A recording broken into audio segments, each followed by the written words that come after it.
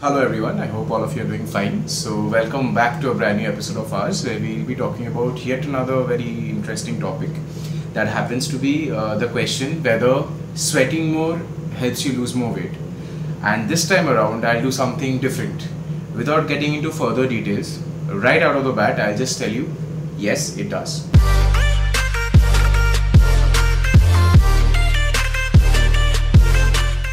So when the body is subjected to a lot of ambient heat, what it does is it uses sweating as a last resort in way of heat dissipation to maintain homeostasis.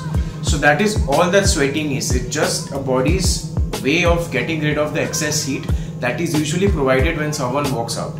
So just uh, do you know fact is that when we work out, when we do any sort of physiological exercises, we our metabolism on an average increases from 5 to 15 times than our resting metabolism. And that excess change in metabolism primarily dissipates in form of heat from the body.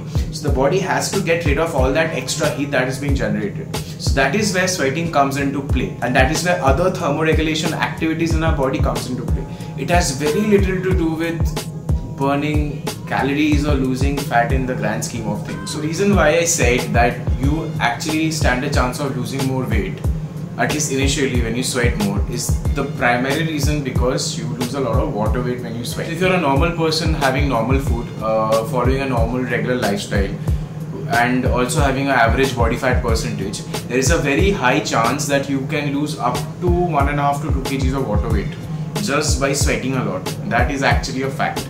So there are a lot of different ways to lose water weight which I'm not going to get into for this video. So that is a separate topic altogether which I might touch upon later. So coming to the crux of the uh, matter is that uh, when you actually sweat, the initial weight loss is not because you're losing any sort of fat, but it's just because your your body is getting rid of all that excess water it held on to previously. Basically due to your lifestyle, nothing else. So that gives people a sense of accomplishment is that they feel they lost 1 kg in a matter of uh, one or two days or for some in a matter of few hours. So it has indeed been found in a lot of elite level athletes that they can lose up to 2 kgs of weight like i said after performing a session of their game. So as long as you have this understanding in place i'm very sure that sweating should not be confused by losing weight or losing fat as of that matter. Sweating and fat loss has very very little to do with each other let me tell you because if it was the top level athletes would not have been from countries where the average temperature is like 15 16 degrees. I can take a lot of example but that would just uh, increase the length of the video.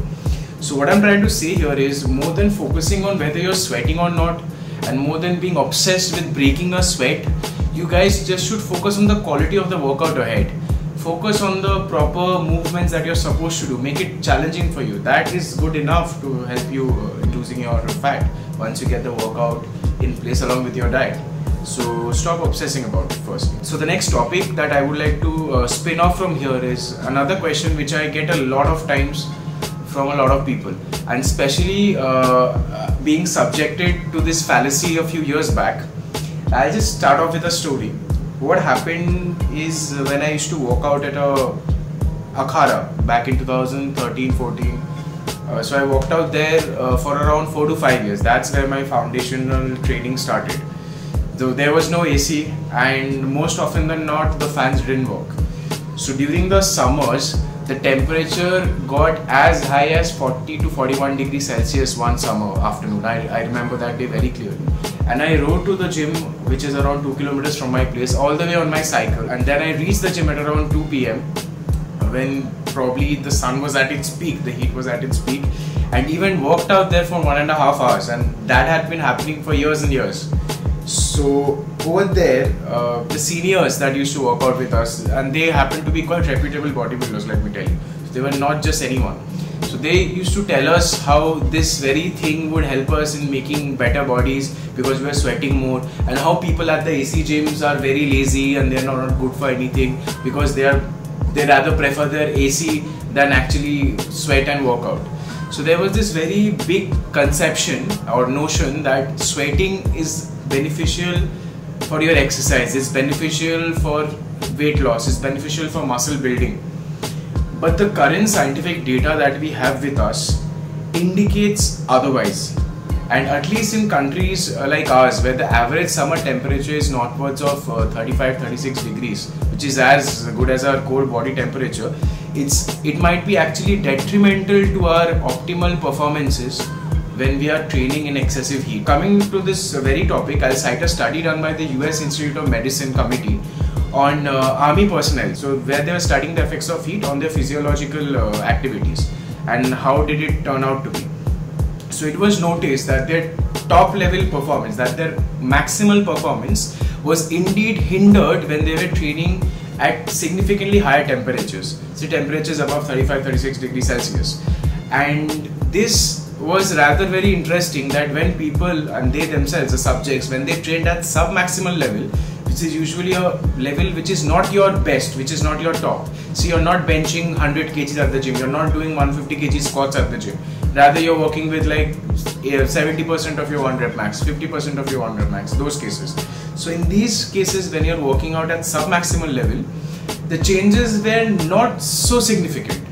So the consensus that they developed is if you're someone who's a very top elite level athlete that demands you to be at your top, that demands you to be at the top of your game all year round, you are better off working in a much cooler environment than in excessive heat. Now there was this other uh, theory that heat acclimatization. You have heard the word acclimatization. So there's something called heat acclimatization where they uh, supposedly theoretically concluded that your body can get used to it. If you're if you're training in heat for a certain amount of time, your body becomes more efficient in thermoregulation. That is getting rid of the excess heat. So this is indeed true and this did hold true for people who are working at sub-maximal level like I said. If you're a top level athlete, chances are you're better off training in a controlled environment where the temperature is not really a factor that will hinder your maximal output. And according to this very principle, the topmost uh, institutions of sports across the world according to the wet bulb global temperature indexes do have a list of the temperatures that they are permitted to conduct events on so you can see on the screen the various institutes that have these recommendations stated and what actions that needs to be taken while following these recommendations. So uh, average people like you and me who are not always going to the gym and performing at maximal levels. So for us, we can get away with it provided that we are used to this heat.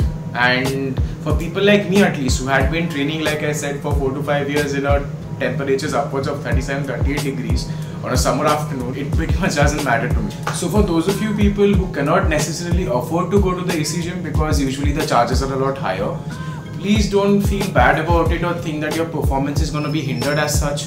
Like I said, using my own example, that if you're someone who's used to uh, training in the heat, it hardly takes a few weeks. Once you get yourself acclimatized, once you are properly hydrated, once you got your electrolyte balances in check, chances are your performance would not get affected to that extent where you will actually feel the brunt of it.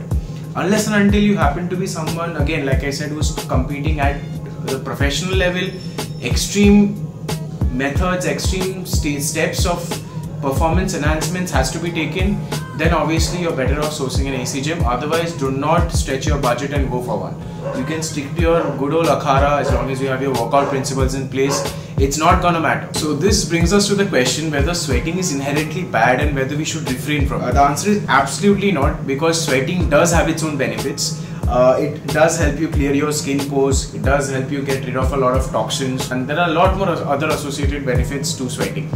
So we should not shy away from sweating as it is, but we should not give it utmost importance when we are at an environment where our performance and our exercises mean more to us than making us sweat. That's all that I'm trying to portray out here.